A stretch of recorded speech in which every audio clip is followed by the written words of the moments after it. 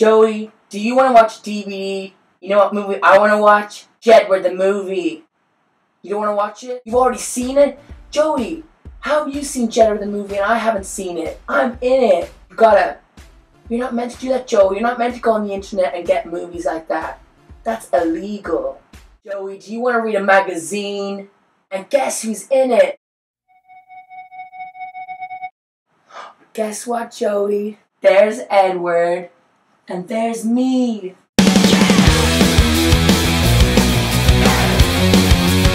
Oh, you look really, really tired, Joey. Are you going to sleep? Do you want me to read you a bed story story? Okay. Once upon a time, there was two twins called John and Edward.